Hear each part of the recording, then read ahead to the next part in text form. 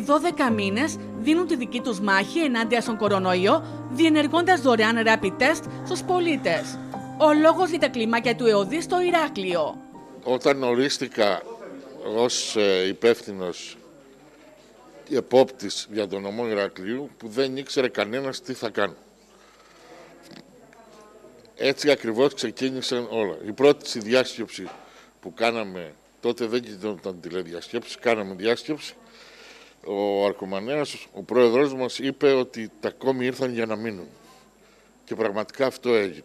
Καταρχήν έχουμε απίστευτη συνεργασία με τα παιδιά και έτσι έχουμε καταφέρει και έχουμε αντιμετωπίσει οτιδήποτε μας έχει συμβεί και μας έχει παρουσιαστεί.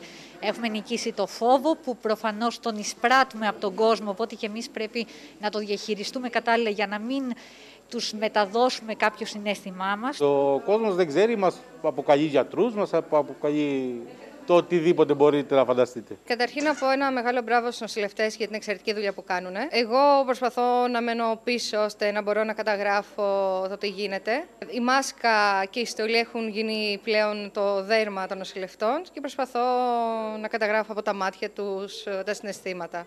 Νοσηλευτές, οδηγοί, διοικητικοί και όχι μόνο περιέγραψαν τα συναισθήματά τους τις δύσκολες και αμήχανες στιγμές κατά τη διάρκεια ανακοίνωσης των θετικών κρουσμάτων. Θα έρθω κοντά του και σωματικά και ψυχικά. Πιο δύσκολο είναι όταν είπα σε ένα, ένα άτομο 92 χρονών παχύσαρκο με, με ζαχαρό διαβήτη ότι είναι θετικός και ο οποίος μου είπε ε, και θα περάσει γι' αυτό. Και πέρασε. Ήταν αρκετά έντονη στιγμή όταν στο πέραμα σε ανοιχτή δειγματοληψία που είχε αρκετά κρούσματα είχαμε μικρά παιδιά, οπότε ο γονιός και με τόσο αγάπη και φροντίδα ο κύριος Μαμαντζάκης να πάρει ξανά στα μικρά παιδιά που ήταν ολόκληρη οικογένεια με πέντε παιδάκια και ήταν θετικά, ήταν λίγο έτσι αμήχανη στιγμή.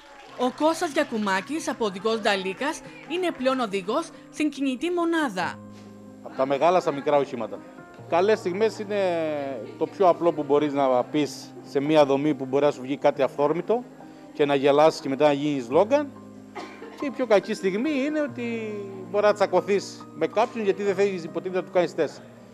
Η ψυχή της όλης προσπάθειας, ο επόπτης του ΕΟΔΗ της Περιφερειακής Ενότητας Ηρακλείου, Παναγιώτης Μαματζάκης, δηλώνει υπερήφανος για την ομάδα του. Είμαι περήφανος για αυτή την ομάδα. Ε, δεν μπορώ να πω ότι είναι δημιούργημά μου, αλλά είναι έργο μου. Υπάρχουν διάφορες τιμές τώρα καθημερινότητας. Δηλαδή, ο κάθε άνθρωπος που έρχεται εδώ είναι διαφορετικός, έχει την ιστορία του, το φόβο του, την ανασφάλειά του, έχει πολλά.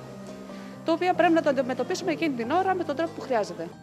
Ξεκίνησαν δειλά-δειλά το περασμένο Ιούνιο, διενεργώντας 25 rapid test σε ημερήσια βάση.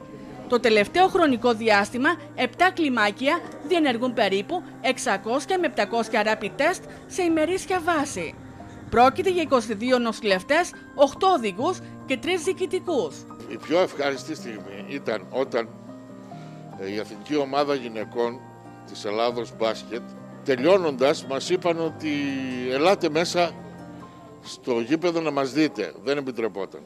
Όπως είναι τα παιδιά εδώ που βλέπετε τώρα, φύγαμε και μπήκαμε μέσα στο γήπεδο. Εκεί μας περίμενε όλο το στάφ της εθνικής ομάδας και χειροκρότησε αυτούς τους ήρωες.